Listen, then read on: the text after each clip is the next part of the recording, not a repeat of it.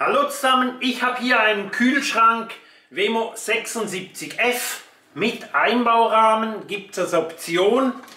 Und dieser Kühlschrank, der hat kein Eisfach.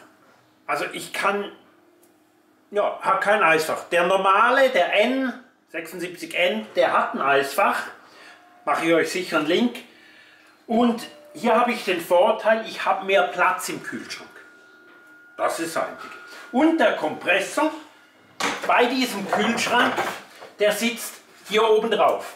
Mit 1,5 Meter Leitung, das ist jetzt hier so aufgewickelt, weil hier sollte der Kühlschrank, hier gibt es dann so zwei Gitter, das sind also so Fingerschutzgitter, nichts Spezielles.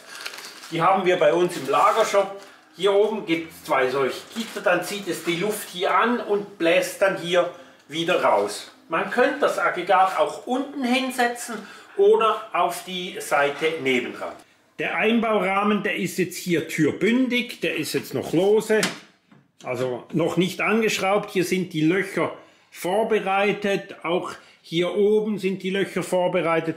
Den Kühlschrank hier und mit der Lüfterstellung, das ist die hier unten, geht der Kühlschrank, bleibt dann ein Stück offen und fängt nicht an zu stinken, wenn man ihn nicht braucht. Braucht den Einbaurahmen nicht, wenn links und rechts zwei Bretter sind, kann man den ohne Problem so einbauen. Ihr braucht den Einbaurahmen nicht unbedingt, weil die meisten verkaufen wir ohne Einbaurahmen.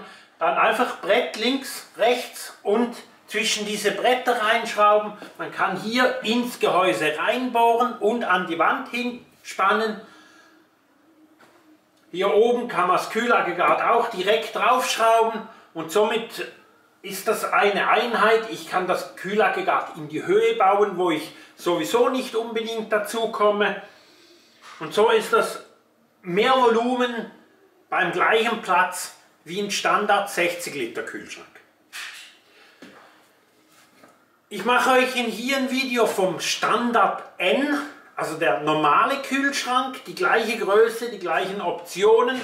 Und hier ein Video über den 60 Liter, also der Wemo 66N. Und ich wünsche euch einen schönen Tag.